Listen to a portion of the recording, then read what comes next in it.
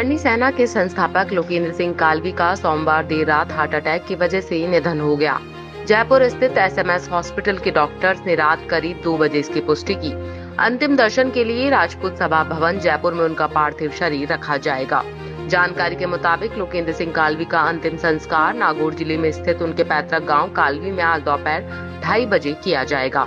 बताते चले कि कालवी जून 2022 से ब्रेन स्ट्रोक के चलते अस्पताल में भर्ती थे और अपना इलाज करवा रहे थे।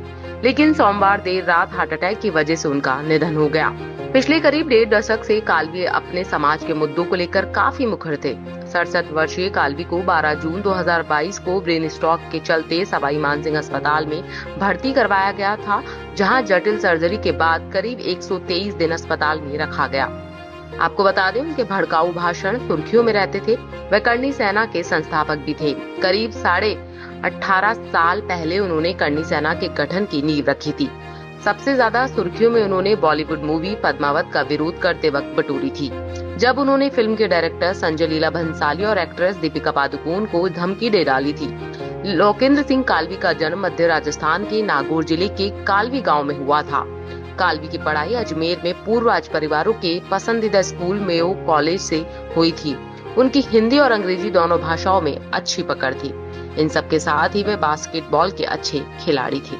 Bureau report, Punjab Kesari.